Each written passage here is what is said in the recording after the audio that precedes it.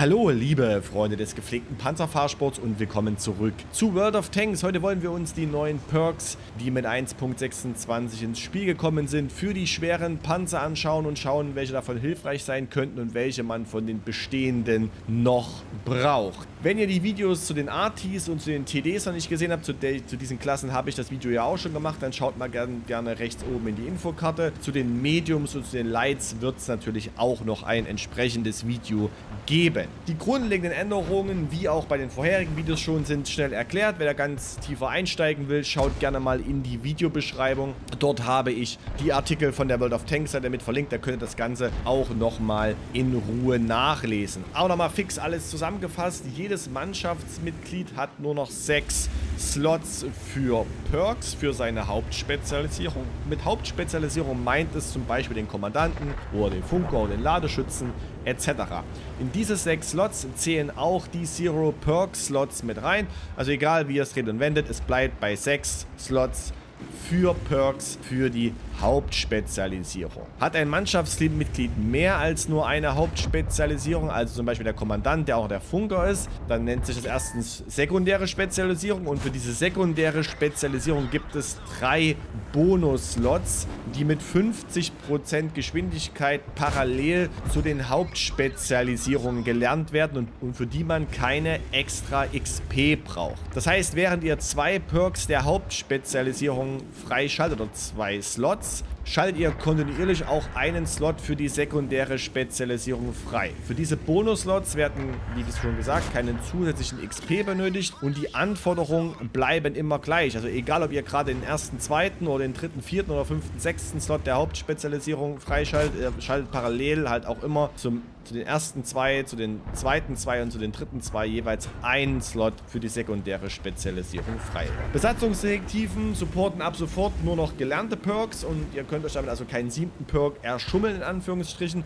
Und wenn alle sechs Perks gelernt sind, werden die überschüssigen XP, die ihr danach noch ansammelt, zu 50% in Crewbücher A100.000 XP umgewandelt. Und das ist fortlaufend, da gibt es, glaube ich, kein Limit. Mehr Infos, tiefergehende Infos, wie gesagt, in den offiziellen World of Tanks Artikeln, die ich euch mit in die Videobeschreibung reingepackt habe. Schauen wir uns nun die Perks für die Heavies an und gehen dabei Schritt für Schritt durch die Mannschaftsmitglieder durch. Eine Priorisierung ist, das habe ich letztens auch schon gesagt, bei den Nicht-Arti-Klassen deutlich schwieriger, da die Fahrzeuge teils völlig unterschiedliche Aufgabenfelder bedienen, obwohl sie zu einer Klasse gehören. Ich werde versuchen, die Perks soweit möglich einzuordnen. Trotzdem ist es wichtig, dass ihr für eure Panzer, Mannschaften und Spielweisen die Priorisierung immer noch mal so ein bisschen selbst mitdenkt. Perks, die ich wirklich als nicht relevant betrachte, lasse ich weg. Habe ich einen Perk weggelassen, den ihr für die Heavies als wichtig erachtet, ergänzt es gerne in den Kommentaren mit euren weiteren Gedanken dazu.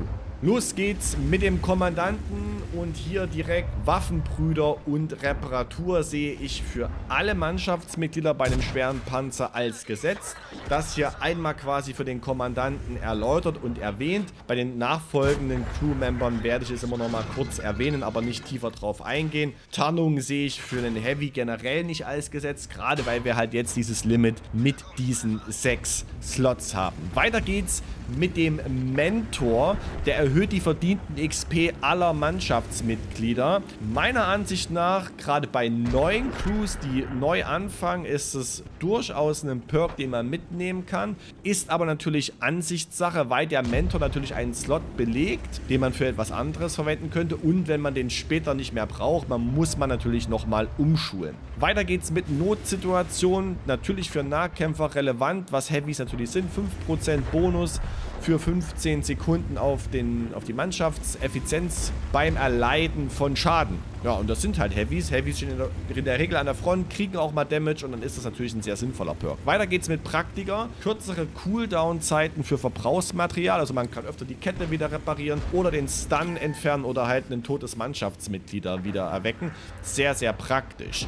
Geräuscherkennung. Heavies sind gerne im Fokus, nicht nur im Kampf mit anderen Heavies oder mit anderen Fahrzeugen, sondern natürlich auch mit der Arti. Und auch wenn Heavies in der Regel langsam sind und bei der Geräuscherkennung vielleicht nicht so so eine hohe Relevanz, was das Ausweichen angeht, bringt aber die Geräuscherkennung auch noch äh, minus 10% negativen Effekt durch Betäubung mit und das kann natürlich bei einem Heavy durchaus relevant sein. Ansonsten noch Speer für mehr Sichtweite ja, mehr Sichtweite ist immer gut, auch wenn wir im Heavy sitzen, Gegner aufklären zu können, besser aufklären zu können, ist gerade im Mid- und im Late-Game auch für den Heavy durchaus relevant. Der Richtschütze. Auch hier Waffenbrüder und Reparatur ist für mich gesetzt. Weiter geht's mit ruhiger Hand. Gun-Handling verbessert bei Turmdrehung. Besseres Gun-Handling ist immer gut, kann man immer gebrauchen.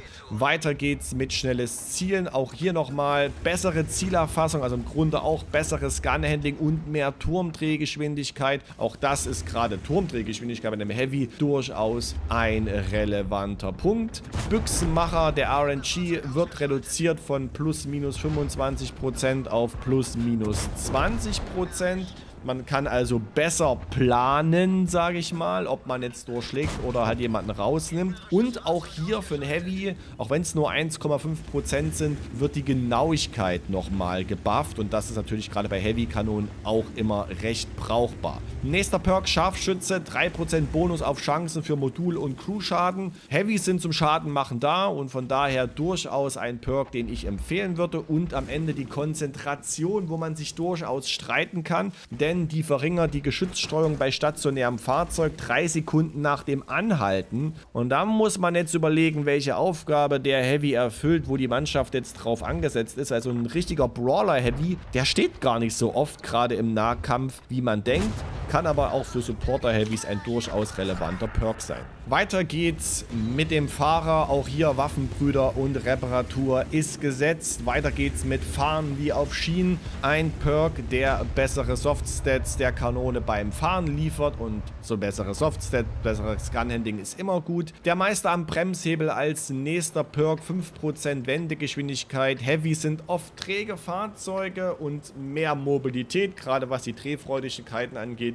ist gerne willkommen. Der Ingenieur plus 1 1 Topspeed vorwärts wie rückwärts. Auch hier wieder das Argument der Mobilität, vor allem der Geschwindigkeit. Heavys sind nicht die schnellsten Fahrzeuge und so ein Perk kann natürlich entsprechend da helfen, das Fahrzeug etwas mobiler zu machen. Verlässliche Positionierung, 10% Schadensabsorption bei HE-Granaten. Gerade Heavys stehen doch gerne mal im AT-Fokus und das kann dann natürlich helfen, da ein bisschen bei den Treffern das ein bisschen zu reduzieren, den Impact. Das Thema mit dem Fallschaden Schaden, der da auch reduziert wird bei der verlässlichen Positionierung, sehe ich jetzt nicht so wirklich als relevant an. Wenn man nicht in der Lage ist, richtig zu fahren, gut, dann ist man eigentlich selber dran schuld, dann hilft da auch oder sollte da auch nicht nochmal ein Perk dazu helfen. Und der Rambock, das kann lustig sein, aber meiner Meinung nach ein Perk, den man eigentlich nur mitnehmen sollte, wenn man ansonsten nicht weiß, was man leveln soll, weil der doch dann schon recht selten relevant ist.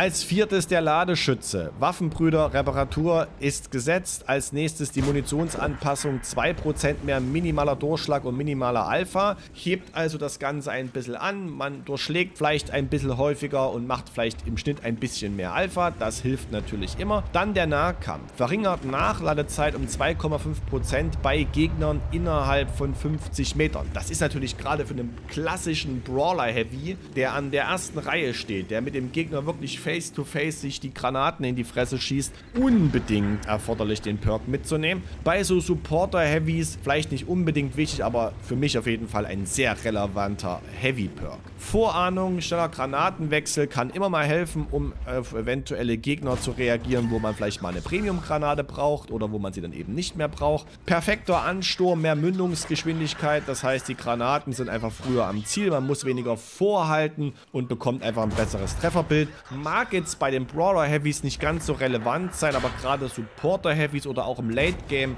kann das durchaus helfen. Und sichere Ladung, natürlich bei schweren Panzern, wo gerne mal das Munitionslager rausfliegt, sollte man darüber auch ernsthaft nachdenken. Das fünfte Mannschaftsmitglied zum Schluss, der Funker. Auch hier Waffenbrüder und Reparatur natürlich gesetzt. Seite an Seite. 2,5% Besatzungseffizienzbonus, wenn verbündetes Fahrzeug einer gleichen Klasse innerhalb von 50 Metern steht. Und da sehe ich auch wieder die ganz klassischen Brawler-Heavies, die in der Heavy Lane stehen, wo zwei, drei Heavies des eigenen Teams aufeinander hocken und dort an verschiedenen Ecken innerhalb von 50 Metern aber zusammenarbeiten, als super relevanten Perk. Aber auch wenn ihr das Fahrzeug oft oder die Mannschaft oft im Bollwerk oder im CW mitnehmt, auch da kann das ein sehr, sehr relevanter Perk werden. Brandbekämpfung, wenn euer Panzer oft brennt, beziehungsweise wenn ihr ohne Feuerlöscher und mit den Premium-Verbrauchsgütern fahrt, dann ist das natürlich ein Perk, über den man nachdenken sollte. Wenn ihr einen automatischen Feuerlöscher mit habt, dann sehe ich den jetzt nicht wirklich als relevant an. Signalunterbrechung 0,75 Sekunden frühere Lampe. Das kann natürlich helfen, gerade bei Supportern, die nicht in der ersten Reihe kämpfen. Oder auch dann im Late Game kann das auch für jeden anderen Heavy sehr, sehr wichtig sein. Die Weitsicht, 3% mehr Sichtweite. Ja, da muss man halt abwägen, gerade wenn der Funker kein eigenständiges Mannschaftsmitglied ist, also so nur eine sekundäre Spezialisierung, ist das vielleicht ein Perk, den man nicht unbedingt mitnimmt. Aber mehr Sichtweite ist immer relevant, auch für den Heavy. Vielleicht vor allen Dingen dann im Late Game oder so,